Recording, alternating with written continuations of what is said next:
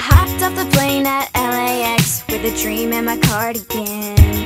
Welcome to the land of fame, excess. Whoa. Am I gonna fit in? Jumped in the cab, here I am for the first time. Look to my right and I see the Hollywood sign. This is all so crazy. Everybody seems so famous. My tummy's turning and I'm feeling kinda homesick. Too much pressure and I'm nervous. That's when the taxi